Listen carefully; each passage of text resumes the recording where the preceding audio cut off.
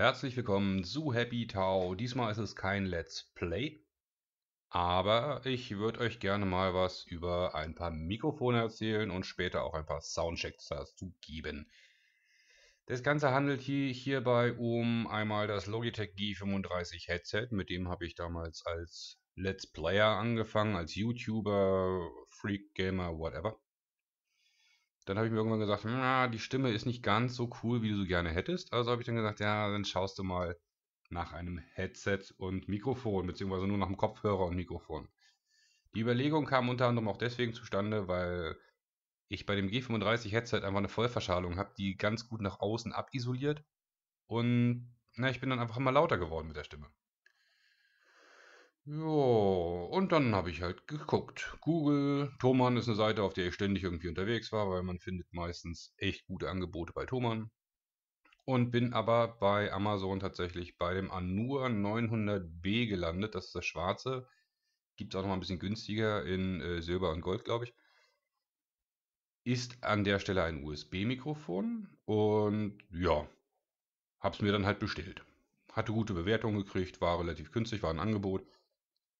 Hab's dann bekommen, angeschlossen und muss auch sagen, war eigentlich recht zufrieden, war total begeistert. Ich habe das Mikrofon, das Anur 900B, zusammen mit einem Tischständer und einem Popschutz bestellt. Die Mikrofonspinne ist schon dabei gewesen und es klang halt auch sehr gut. Das einzige Problem, was mich da gestört hat, war einfach, dass ich ein tiefes Brummen, so ein Grundrauschen drin hatte und meine Stimme doch sehr basslastig wirkte. Also habe ich dann gesagt, ja, da bin ich nicht, noch nicht ganz zufrieden mit. Habe dann weitergesucht. Also neues, neue Kopfhörer gab es natürlich auch dazu, weil dann nur noch äh, so eine Halbschale oder halboffen. Und muss sagen, seitdem kann ich wesentlich angenehmer sprechen, ohne meine Nachbarn gleich zu traktieren. Ist auch super. Ja, gesucht, gesucht, gesucht. Dann bin ich an dem Rode NTH1 gelandet. Das ist auch das Mikrofon, womit ich das jetzt hier gerade aufnehme. Das dann bestellt, beziehungsweise bei eBay Kleinanzeigen dann gefunden von einer Musikerin, die selber ein bisschen Probleme damit hatte, das äh, rauschfrei einzustellen. Und hab's da dann doch recht günstig geschossen. Inklusive Ständer, Popschutz und dem ganzen Pipapo und einem Vorverstärker Wichtig ist halt, ist, äh, dieses Rode NTH1 ist ein XLR-Mikrofon. Das hat halt so ein richtiges Mikrofonkabel und braucht noch so einen Vorverstärker, um dann überhaupt an den Rechner ranzugehen. Entweder nehmt ihr dafür ein USB-Audio-Interface oder halt wie bei mir ist halt ein kleiner Röhrenverstärker mit dem Klingenausgang, dass ich dann so in meine Soundkarte direkt einspeisen kann. So, jetzt kommen wir mal zu dem Wesentlichen dieses äh, ja, Video-Audio-Beitrags und zwar die Soundchecks. Ich möchte ja mal ein Beispiel einspielen, was halt mit dem G35 Headset aufgenommen worden ist. Danach folgt ein Beispiel mit dem Anua MiG 900B. Und ganz zum Schluss halt das Rode NTH1. Äh, wobei ich auch nochmal sagen muss, das Rode NTH1 müsst ihr mal aufpassen, wie ihr es einstellt. Ihr könnt halt bei den anderen Mikrofonen auch sehr viel einstellen. Alles ein bisschen Konfigurationssache. Aber wenn ihr halt an der Niere vorbeiredet, dann klingt ihr auch ein bisschen scheiße. Okay, hier die Beispiele. So, das an der Stelle ist jetzt der Vergleich mit dem Logitech G35 Headset. Dieses Headset habe ich zum Gamen oft benutzt, ist sehr gut. Ähm, die Stimme klingt hier etwas verfälscht und ein stiller Vergleich folgt später dann ja auch nochmal. So, dies ist der Test mit dem Auna MiG 900B. Das ist jetzt einmal meine Stimme. Und jetzt zum Vergleich nochmal das äh, stille Rauschen, was wir bei diesem Mikrofon haben können.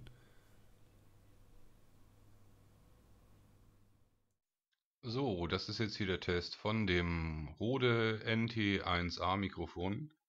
Ich habe das Ganze hier, wie gesagt, auf einem Ständer stehen. Es ist hochgradig empfindlich, aber dafür auch sehr gut zu konfigurieren an verschiedensten Stellen.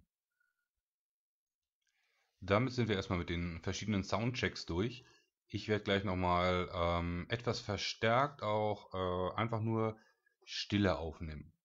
Das heißt, ich werde nicht reden, es sollten keine Geräusche in die Mikrofone reinkommen und diese dann wieder vergleichen. Die Reihenfolge ist da wieder dasselbe. Das G35 Headset, das ähm, Aunamic 900B und danach das Rode NT1A. Es gibt, werdet ihr wahrscheinlich auch sehen, bei dem G35 ein sehr Hochtonrauschen, bei dem Aunamic 900B ein basslastiges Rauschen und bei dem Rode NT1A kann man sich verkonfigurieren, dann hat man auch Rauschen dabei, dadurch, dass das Mikrofon sehr in, in, äh, sensibel ist, aber im Idealfall ist man komplett rauschfrei.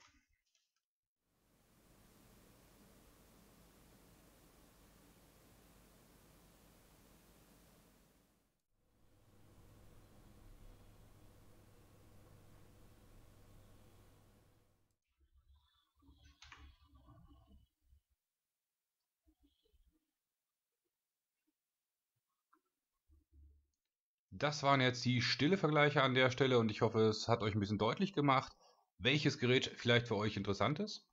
Gibt natürlich auch noch super viele andere tolle Geräte am Markt. Es gibt auch noch irgendwie so ein Yeti USB-Mikrofon, was angeblich auch sehr rauscharm sein soll.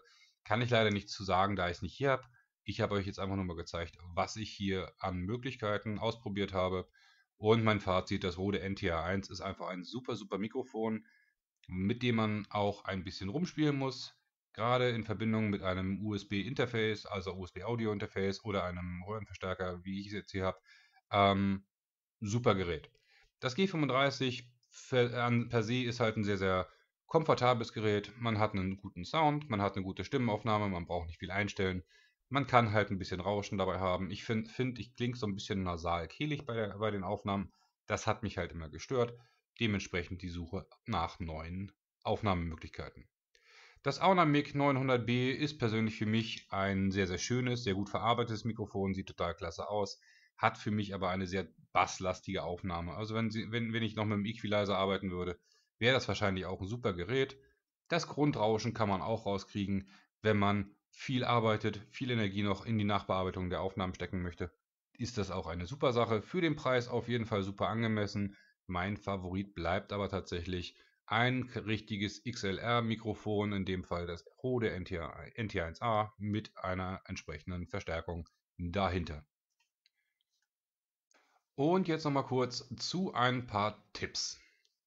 Wir haben jetzt bei dem G35 und bei dem Anua Mic Grundrauschen gehabt. Dieses Grundrauschen kann man tatsächlich sehr stark runterregulieren, indem man sagt, man geht in die Windows-System-Soundeinstellungen und sagt, man möchte gerne das Input-Signal von dem Mikrofon, also den Pegel, recht weit runter regulieren. Ähm, durch verschiedene Service Packs bei den Windows-Versionen und durch verschiedene Betriebssystemarten müsst ihr selber mal ausprobieren. Ihr könnt es halt sehr, sehr weit runter regeln, so dass eure Stimme klar und deutlich aufgenommen wird, ohne etwaiges oder mit sehr geringem und Grundrauschen. Wenn ihr das Ganze gemacht habt, müsst ihr bloß überlegen, okay, Jetzt habe ich hier die Aufnahme, die Stimme ist aber für zum Beispiel Let's Plays sehr leise. Dann müsst ihr das im Nachhinein nochmal wieder künstlich hochziehen. Hat den Vorteil, ihr könnt eure Stimme sauber hochziehen, habt aber kaum Rauschen, was ihr verstärkt. Das heißt, die Qualität an sich ist da schon mal ziemlich gut. Ich sag mal, für äh, jemanden, der gerade anfängt oder einfach das Geld hat oder ausgeben möchte, ähm, ist das G35 Headset oder auch einfach das Anua Mic eine super Wahl. Wobei ich bei, der, bei dem Anua-Mix sagen würde, na, für weibliche Stimmen ist es dann doch eher empfehlenswert, weil einfach die Männerstimmen doch sehr, sehr tief und, äh, rüberkommen können. Und wenn ihr nicht gerade irgendwelche Grusel-, Horror-, Shocking-Videos äh, kommentieren wollt oder irgendwelche romantischen Sachen fabrizieren wollt, ist es vielleicht nicht immer so ganz passend, dass man so eine tiefe Kuschelstimme hat. Ja, bei dem Rode NT1A gibt es eigentlich eine ganze Menge Einstellungsmöglichkeiten. Das fängt bei der Technik an. Ähm, ich habe jetzt hier ein Tube-Amp, äh, XLR-Mikrofon mit Großmembranen. Da kann man halt an der Stelle nur sagen, ah, Technik muss ich halt hier und da überhaupt erstmal gucken, was nutze ich. Empfehlung von einem, von einem Kollegen, den ich vorhin schon mal angesprochen habe. Großmembran-Mikrofon ist tendenziell auch ein bisschen basslastiger. Äh, Kleinmembran heißen die Dinger, äh, glaube ich. Ähm, die sind so ein bisschen besser geeignet für die Stimme zum Aufnehmen. Wenn ihr noch ein paar andere Sachen mitmachen wollt, ist dann Großmembran wieder ziemlich gut dabei, weil der Frequenzbereich ganz gut abgedeckt wird. Ähm, Empfehlung ist da auch an der Stelle ein USB-Audio-Interface zu nehmen, am besten mit so einem kleinen Mischpult mit bei, dass man da schon mal sich selber dann auch vorab regeln kann, bevor man überhaupt erstmal auf die digitale Schiene am Rechner rutscht. Ich habe jetzt hier einen Tube-Amp, das heißt ein Röhrenverstärker mit äh, Vorverstärkergedöns und kann hier an der Stelle auch schon sagen, ich kann das Eingangssignal und das Ausgangssignal des Verstärkers ähm, manuell regeln, bevor es überhaupt an den PC kommt. Da kann man halt auch ein bisschen rumstellen, dass man sagt, man macht das Eingangssignal ein bisschen leiser, dementsprechend nicht ganz so störanfällig, macht das Ausgangssignal ein bisschen stärker, so dass man das dann wieder deutlich hören kann. Hat den Vorteil, wenn man nachher irgendwie am Rechner angekommen ist, hat man kein Rauschen, man kann mit einer lauten, deutlichen Stimme arbeiten. Und ähm, noch eine kleine Sache zum Schluss. Das Auna MIG und das Rode NT1A zum Beispiel haben eine Nierencharakteristik. Das heißt, ihr müsst auch immer gucken, dass ihr von der richtigen Seite reinsprecht. Ansonsten klingt es immer ein bisschen komisch. Ich habe jetzt gemerkt beim Vorbereiten der Videos hier, dass meine Stimme manchmal so ein bisschen abflacht. Das liegt einfach daran, weil ich so leicht schräg in das Mikro manchmal reinspreche und dementsprechend einfach die Nierencharakteristik sagt, eigentlich bist du nicht die Hauptsoundquelle. Klingt ein bisschen komisch, ist ein bisschen übungsbedürftig, aber die Qualität kann da halt sehr gut stimmen. So, im Endeffekt ist es jetzt euch überlassen, was ihr euch da selber zulegt. Wenn ihr euch ausrüsten wollt und sagen wollt, wir wollt ein bisschen professionelles Equipment haben, schaut euch einfach mal um. Es gibt, glaube ich, auch so ein Behringer Xylo, Xylo, Xylo irgendwas. Ich habe jetzt gerade nicht nachgeguckt. Vergebt's mir. Das ist so ein kleines USB-Audio-Interface, wo man sogar die Stimme noch mit, ich glaube, vier äh, Frequenzreglern anpassen kann, so dass man sagen kann, okay, hey, ich bin mir zu tief, ich regle so ein bisschen die Tiefen raus oder ich möchte gerne so ein bisschen klarer an den Höhen sein, ich gebe noch ein bisschen an den Höhenfrequenzen nach. Da kann man dann auch noch relativ viel schöne Sachen mitmachen. Ist aber ein Audio-Interface, mit dem ich jetzt selber noch keine Erfahrung habe. Soll aber an sich auch besser sein. Ich arbeite mit einer internen Soundkarte onboard ist auch nicht unbedingt Mittel der Wahl. Bei mir kommt sicherlich irgendwann nochmal ein USB-Audio-Interface nach. Im Moment ist einfach auch das Geld knapp. Es war einfach mal ein Versuch.